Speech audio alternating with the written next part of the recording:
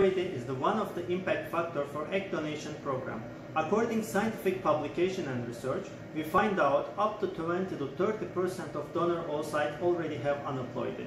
Scientific team of Ovogene Egg Bank already analyzed 2000 donor egg and which we created up to 1500 donor blastocysts from this group of egg. We already make polar body biopsy testing from the oocyte and trophectoderm biopsy test from the blastocyst. We find out, according NGS testing, significant similarity for the euploid rate of oocyte and euploid rate of the blastocyst.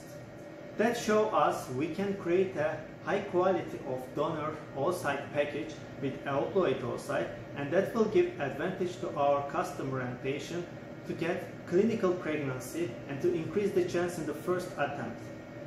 Mostly uh, from the egg donation program package, patients created only one or two blastocysts and finally that is not enough for the NGS testing and also it takes time and money consuming. Scientific team of Ovogene Egg Bank decided to create a genetic certified oocyte.